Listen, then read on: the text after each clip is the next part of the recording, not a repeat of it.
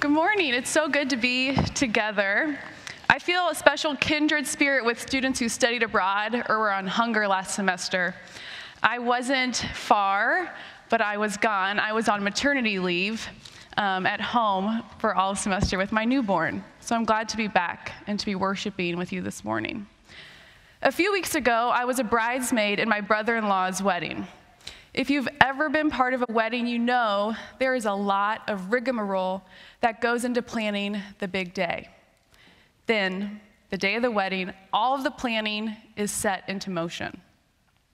The morning of this wedding, we started getting ready hours before the ceremony. As things unfolded, I started to fret about my hair. It just, it just didn't look right.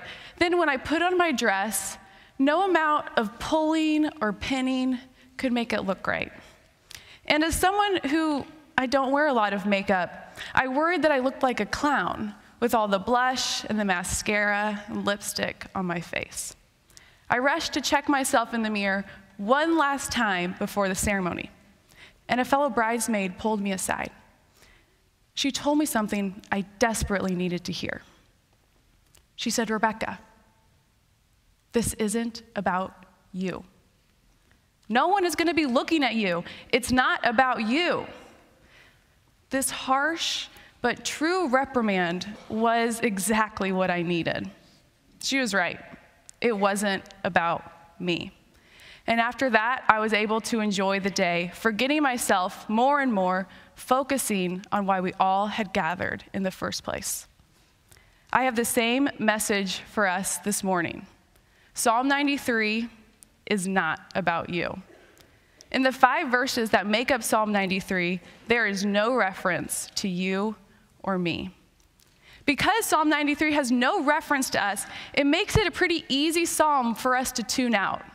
As we hear it, our eyes glaze over, we skip through it, go on to the next psalm. Almost every other psalm has a reference to God's people, but not Psalm 93. Psalm 93 is devastatingly not about us. And that's devastating because I love when the Bible or anything really is about me. These are the verses that are on our cell phone backgrounds or hung on our dorm room mirrors. Jeremiah 29 11. For I know the plans I have for you, declares the Lord. Or 2 Corinthians 12 9.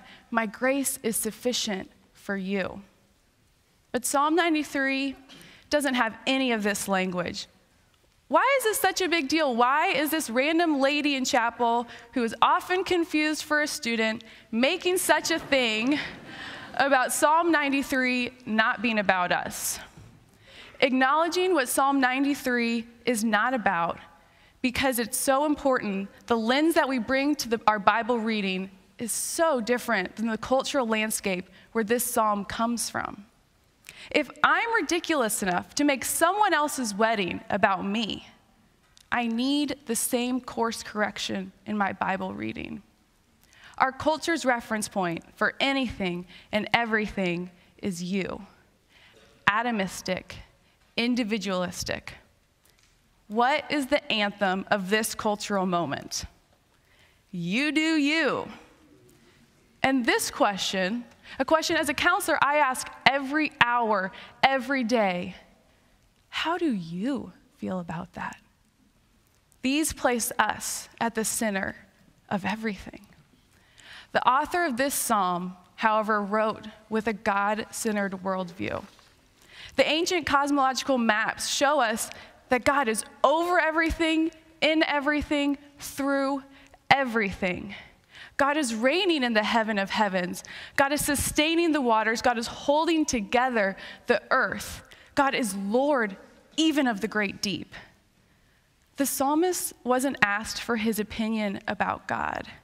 He was filled with the Spirit to pen words of life about God from God. Please, before you tune me out, before you assume this is another message about millennials or Gen Z or whoever you are out there are too self centered. We are all too self centered. Psalm 93 is so much more interesting than a generational power trip. God doesn't give us Psalm 93 to say, gotcha, to make us feel guilty and embarrassed for looking to find ourselves in His Word. He gives us Psalm 93 because He loves us. The same God who gave us Psalm 23, He leads me, He guides me. The same God gave us Psalm 93, the Lord reigns. So let's look closely at this psalm that is not about us. Will you pray with me? God, we confess our impulse to make things about ourselves, that bent in our heart to turn inward, to curve away from community, and most of all, you. Lord, thank you for the gift of this psalm, for inviting us out of that. We seek your Holy Spirit to guide us this morning, to prompt us, help us respond. Amen. Psalm 93 is not about you because it is for you. Three stanzas describe God's stability. Each stanza sets the scene. First, God is king. Second, God has dominion. And third, God is our home. I'm going to read verses 1 and 2. The Lord reigns. He is robed in majesty. The Lord is robed. He has put on strength as his belt. Yes, the world is established. It shall never be moved. Your throne is established from of old. You are from everlasting. God is king. In a song about God's stability, reigning from everlasting is a strong start. Nothing compares with God's eternal kingship. If you've grown up in the United States, you're accustomed to the government changing administrations regularly. In Psalm 93, we praise God that He is enthroned, established, everlasting, never switching Himself out for a new government. The phrase, you are from everlasting, anchors this stanza. When I was an undergrad at Wheaton, I took Philosophy 101. Let me pause and say, I took Philosophy 101, meaning I was physically present in the classroom. I didn't say that I aced philosophy, and I definitely cannot speak authoritatively about philosophy. That's never stopped me before. In philosophy, we studied proofs for God's existence. The ancient philosophers used these as they tried to understand space and time, heaven and earth. One stood out to me as beautiful and compelling. Aristotle and later Thomas Aquinas explored the concept of the unmoved mover meaning there is a being who is unmoved, who initiates the movement of everything else. This being exists outside of time and space. Maybe this is what it means to be from everlasting, the unmoved mover. Also, while at Wheaton, I spent a summer in Rapid City, South Dakota, at the Wheaton College Science Station. It was the only way I could have passed my science credits. Are you catching my other theme here? hobbling through my academics at Wheaton. We spent hours discussing rock structures, the age of the earth. We studied old earth and young earth theories, something our professors always brought us back to. God is from everlasting. We do not debate the date of God's days. God's existence is not linear, it does not expire. God is, has been, and will forever be. God is king. This is our first picture. The next picture in verses three and four. The floods have lifted up, O Lord, the floods have lifted up their voice. The floods lift up their roaring, mightier than the thunders of many waters, mightier than the waves of the sea. The Lord on high is mighty. God has dominion. The psalm that is not about us continues in the second stanza with powerful imagery of God's dominion over creation. The water represents chaos, evil, anything opposing God's enthronement. Three times the psalmist writes of the threatening floods, lifting up their voice, roaring against creation's order. This repetition mimics the waves crashing against the shore. And three times the psalmist describes God's unmoving stability in the midst of the flood. Mightier than the waves of the sea, mightier than anything evil, chaos, or destruction. The chaos of the water is demonstrated throughout the Bible. God's people sustain consistent assault from the waters. The chorus of worshipers singing Psalm 93 knew the truth of these words The Lord is the only God who has power over the waters.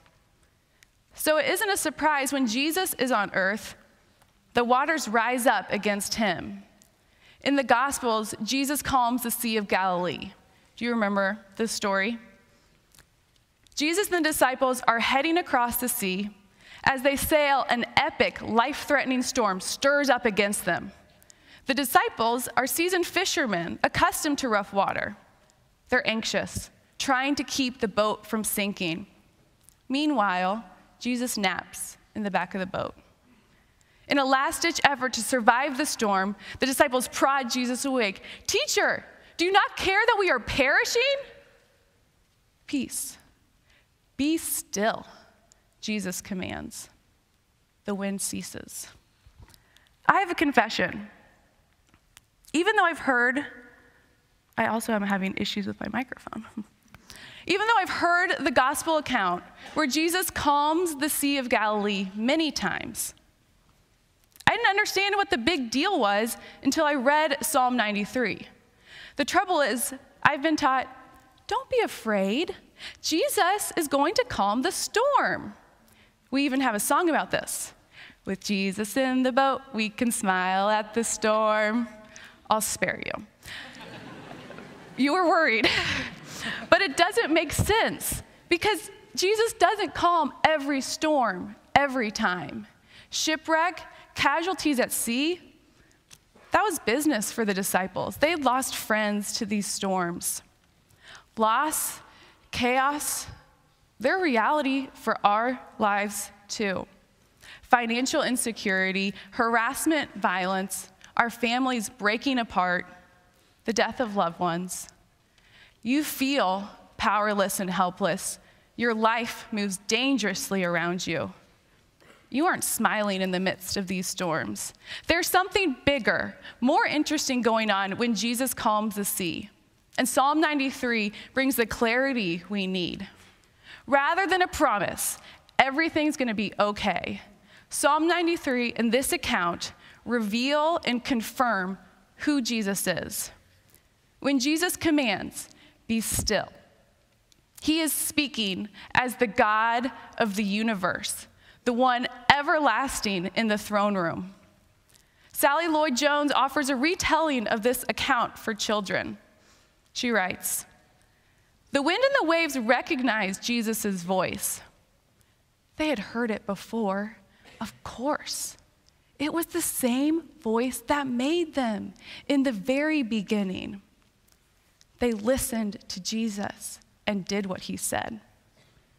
As the thunder, the lightning, the crashing waves stop, the disciples ask the only logical question Who is this? No, really, who is this? Even the wind and the sea obey him. The disciples have sung Psalm 93. They know only the Lord of Psalm 93 has power over the water. The man in front of them just did what Psalm 93 told them about. They start to put two and two together, but all they can say, Who is this? Standing before them is God enthroned on high, the God from everlasting three pictures of God's stability. First, God is king. Second, God has dominion. And let's read the final stanza of Psalm 93. Your decrees are very trustworthy. Holiness befits your house, O Lord, forevermore. We have reached the climax. God's decrees are sure. Because God is forever enthroned, because God has dominion, what God decrees, what he states, what he warns, what he commands and promises, this is sure.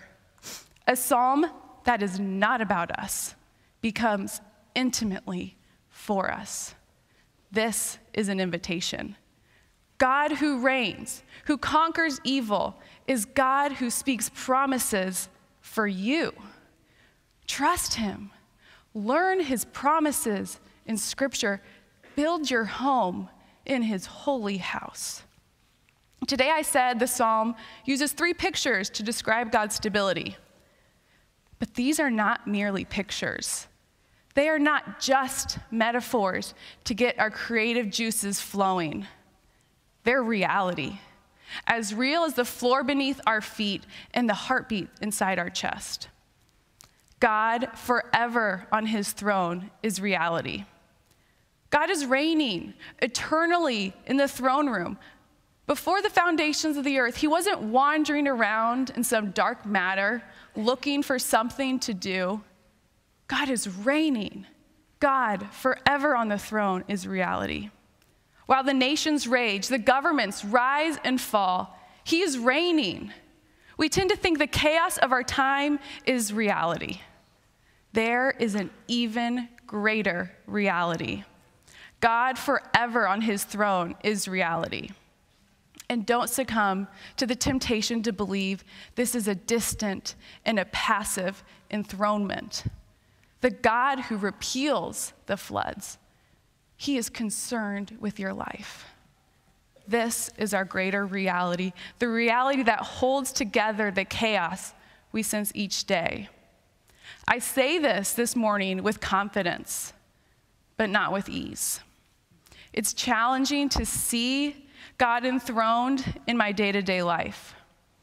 About six months ago, my day started abruptly. My husband shook me awake. It's mom. We've got to go. We've got to get home. She's in the hospital. My husband's mom may be my mother in law by title. She was a mom to me. We joked we had the mother daughter relationship without the baggage. a few hours later, I got the call.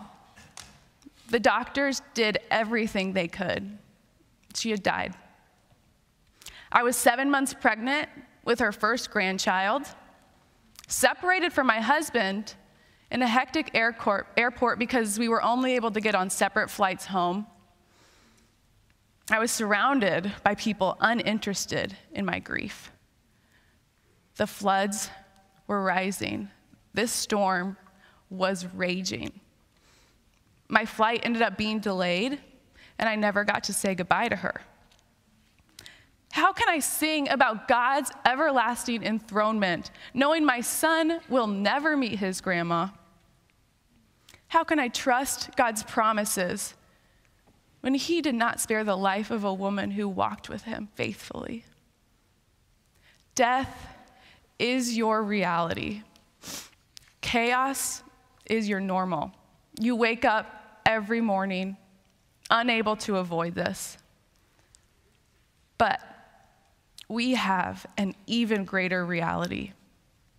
In a moment, we are going to sing of God's throne room.